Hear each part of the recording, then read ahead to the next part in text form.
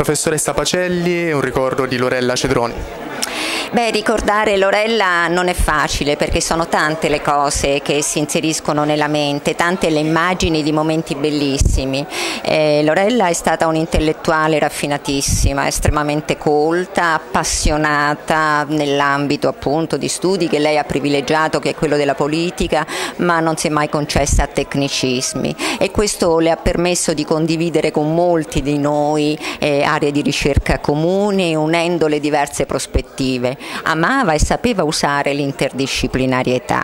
Noi ci siamo conosciute in un convegno su Guglielmo Ferrero che è rimasto un punto di riferimento comune e poi ho avuto la fortuna di ritrovare qui in LUMSA Lorella e di averla tra uh, i docenti del mio corso di laurea di scienza della comunicazione. Sono stati anni bellissimi in cui e come raramente forse accade siamo riuscite a coniugare eh, momenti di dibattito scientifico, condividere impegni nella ricerca, nel dottorato e poi chiacchiere amichevoli molto intense che hanno via via stretto il nostro rapporto. Era un intellettuale libera, eh, coraggiosa, eh, ma che portava il sapore della vita in tutti i suoi rapporti di lavoro e ancor più evidentemente di amicizia. Ho avuto la fortuna di essere una sua amica.